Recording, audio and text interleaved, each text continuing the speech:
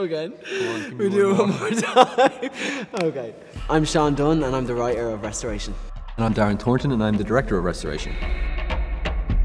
As soon as I read it, I kind of knew that this was going to be a great piece of work. One of the main things that we wanted to do was create an environment that we could bring an audience into where it felt electric. As soon as you came into it, you sort of felt like this, uh, emotionally, this is a really, really high stakes environment.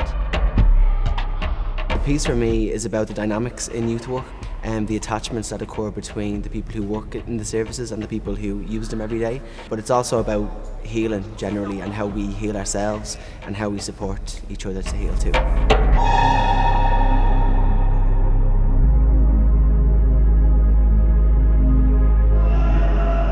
You're gonna have great crack trying to cut this. Good luck.